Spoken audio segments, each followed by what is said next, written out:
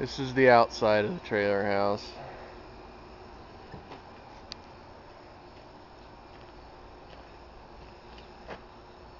Little lot that we're in.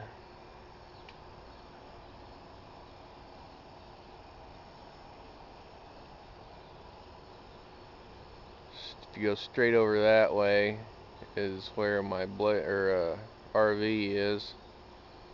You can see the little tiny mobile homes over there, little trailers. I'm on that row at the end.